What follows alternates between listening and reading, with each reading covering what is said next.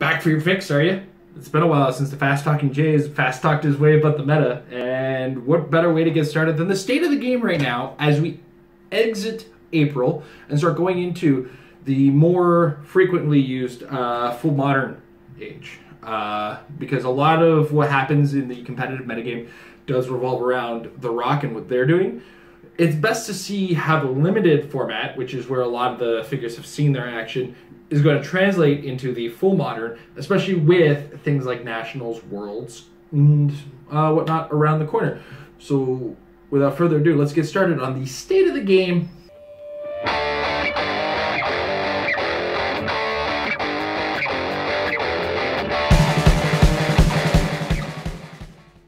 Now, I don't know if I called it directly when it occurred, uh, but there is a dude that came out in Joker's Wild that a lot of people are talking about for a lot of good reasons, and that's Jakeem Thunder. Uh, Jakeem Thunder's ability to choose two powers in a single turn, one defense, one other one, uh, or just two powers in general, is really, really potent. Add in the fact that if you throw on or uh, equip him with a character such as Eclipso or Brainiac, you can actually take away that weight on needing a defense power and go extra on the D, on the offense with him. So, you know, he's he's a character that's very versatile already. And when you add in the full modern age game, that's even more versatility coming out of him. So if you're going to be playing him, know uh, that you're taking a very strong figure uh, to the game. Uh, he doesn't. He's not a, necessarily an auto win. You still got to make a lot of good choices, but that's why a lot of high level players are going to be playing him because they know the choices they have to make and how to react when the game isn't necessarily the way they want it. So, uh, Jakeem Thunder is a figure to watch. Now, in cases of beating him, it does depend a lot on reading your opponent's choices of defense powers. If they're choosing invincible, pay attention to the damage that you are throwing at him. Don't over perplex damage. Don't over extend the damage. You always want to go plus twos to increase by one when they're choosing invincible, and this is just a general rule. Uh, or you also want to uh, just make sure you're getting through whatever defense power that they had choose. If he happens to choose super senses one day, try to make sure you're going after that super uh, that that uh, precision strike.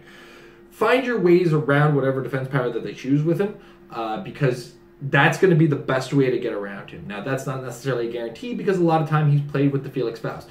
Felix Faust, his ability to shut down with the seven range, who I didn't bring downstairs. I probably should have brought him downstairs, but I just don't like touching him. um, combined with Jakeem Thunder is just a pure nonsense uh, attempt uh, uh, to play against. It's really hard. It's not an easy game to, to have to go forward with.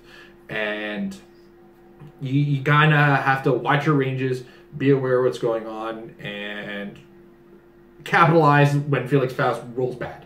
Uh, he does have about half of his rolls being able to really affect the game as a whole and like almost none of them are completely useless with a good player behind them. So Jakeem and Faust being played together is already really tough to play against, and I can't give direct advice on how to beat that. That's honestly it doesn't exist.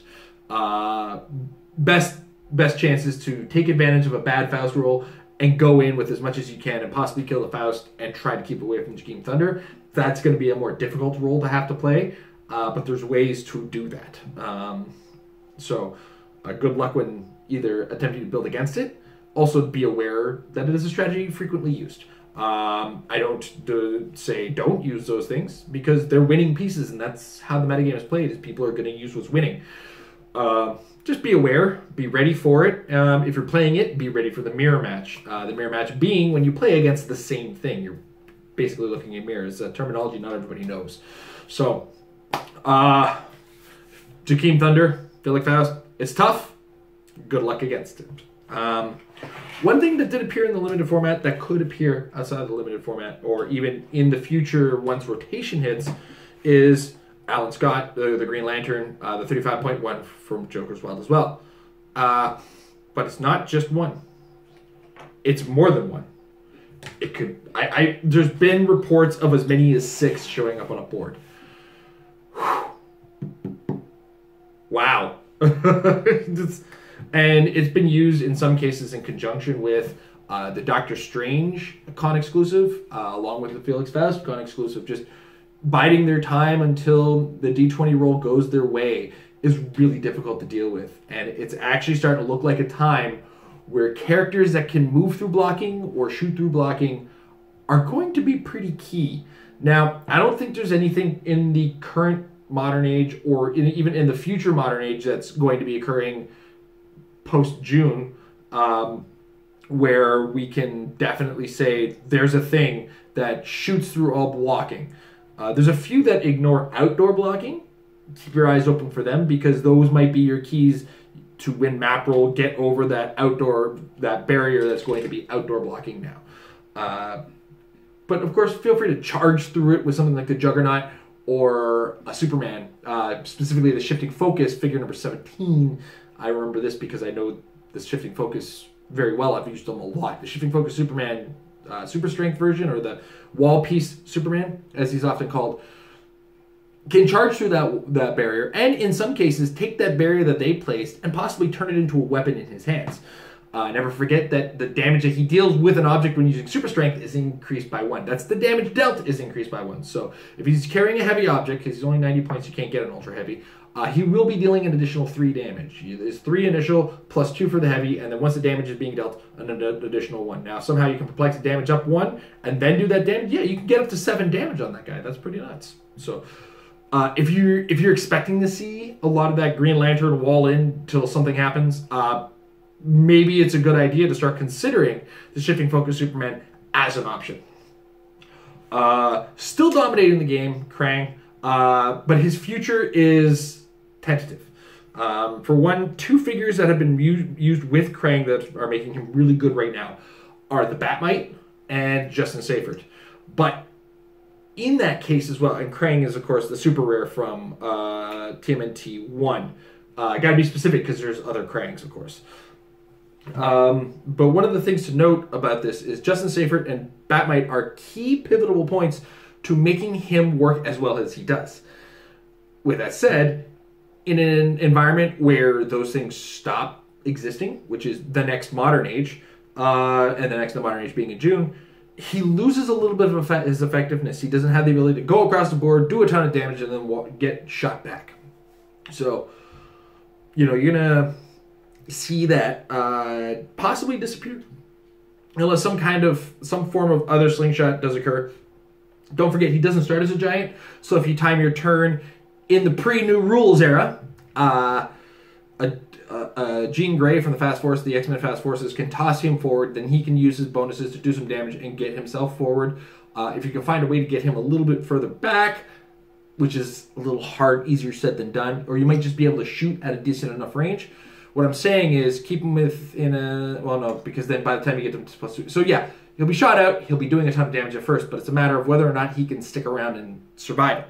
Uh, and in that case, just penetrating damage in any sense will get through him because he has to take two damage after the fact. And even though he has plus two to his stats, uh, there's a lot of non like there's a lot of high attack characters that can penetrate, and really he might just be a, uh, a sitting duck. So Canadian Nationals level or pre pre-June Nationals tournaments are going to see Krang, but after that, we might see him face out of the game. Uh, strategies involving the Bizarro, the Bizarro Green Arrow do exist. Do not fool yourself; it exists, and it's it's good to know how to work around him. Uh, one of the most ideal is, of course, basing, getting in close and making close combat attacks. He can't do anything about that. So uh, we're starting to see some teams are actually able to functionally use close combat again, and that's kind of an exciting time, to say the least.